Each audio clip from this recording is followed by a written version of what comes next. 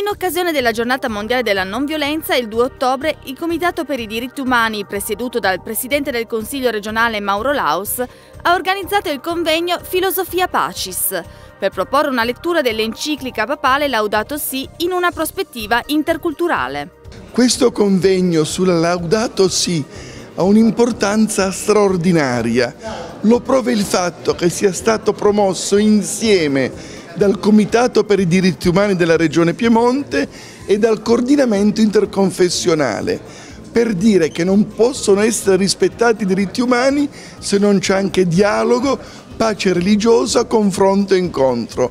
Quale confronto migliore, più serio e profondo che discutere e studiare insieme l'audato sì di Papa Francesco. La cosa migliore è iniziare un certo percorso così confrontandoci eh, in termini eh, interculturali, interreligiosi, con un testo beh, che nessuno oggi può permettersi di ignorare e che è eh, l'enciclica eh, Laudato Si, cioè un testo che sta suscitando dibattito nel mondo, che è strettamente legato ovviamente a una figura, quella di Papa Francesco, che si sta ponendo come leader morale eh, come dire, sotto certi aspetti eh, del mondo intero. Ecco. Allora un confronto con questo testo ci è parso il modo migliore per eh, dire, eh, dare sostanza a questo percorso che, eh, che sta iniziando.